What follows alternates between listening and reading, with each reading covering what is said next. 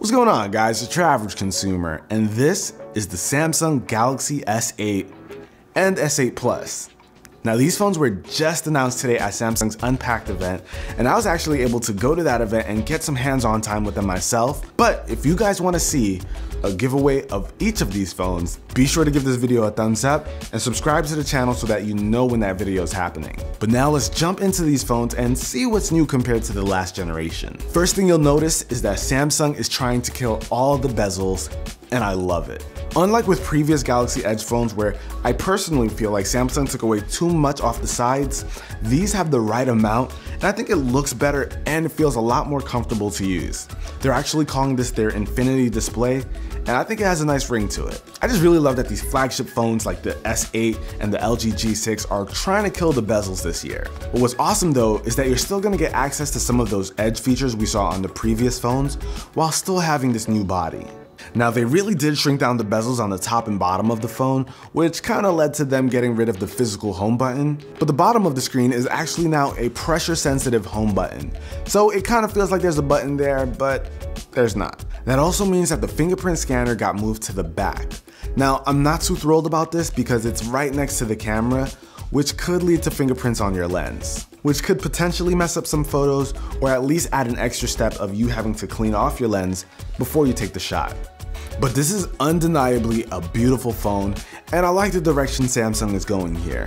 They're even offering quite a few colors like coral blue, maple gold, midnight black, orchid gray, and arctic silver. So if you're looking for variety, they've got it, but I'm going black though. Now what's crazy is that the smaller S8 has a 5.8 inch display and the S8 Plus is 6.2 inches. That's a lot of screen on a small body. I compared the S8 to an iPhone 7 Plus, and even though the 7 Plus is bigger, the S8 had way more screen real estate to offer. And when looking at both models of the iPhone 7 and the Galaxy S8, it's clear that the S8 Plus is much bigger, but what's nice is that it still manages to be narrower than the iPhone 7 Plus. And not only are those displays big, but they're packing HDR, so you're gonna be able to enjoy some great content, some great colors and contrast, and it's it's a Galaxy phone. Samsung kills it with their displays, so there's no surprise here. And when I was messing around with the phone, I was pleased with the UI.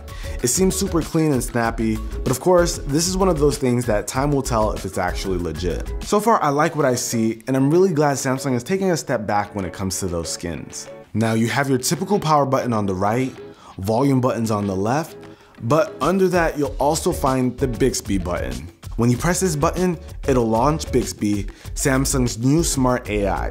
It'll pull up on its own pane which looks very similar to Google Now, where it has a ton of personalized daily information, and with time, it'll learn your habits and provide information based on your frequent activities. Honestly, I think it's safe to call this Samsung's version of Google Now. A cool feature that I did like though, is that you can use your camera to scan objects, and Bixby will pull up information on it once it detects it.